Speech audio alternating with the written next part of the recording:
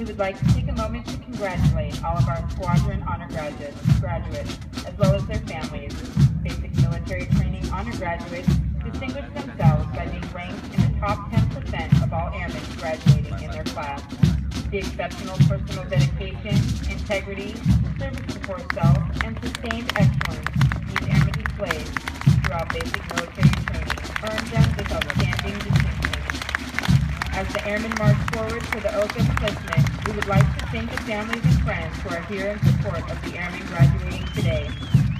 Your words of encouragement help motivate these airmen through eight weeks of basic military training.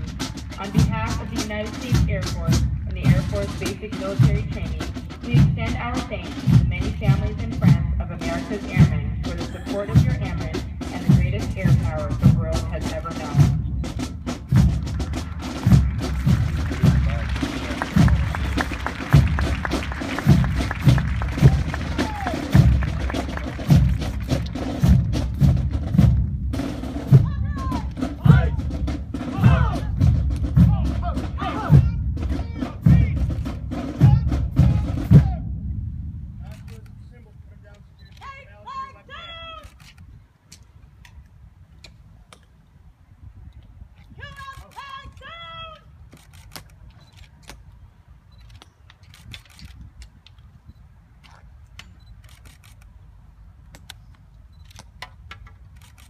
General Wayland will now come forward and address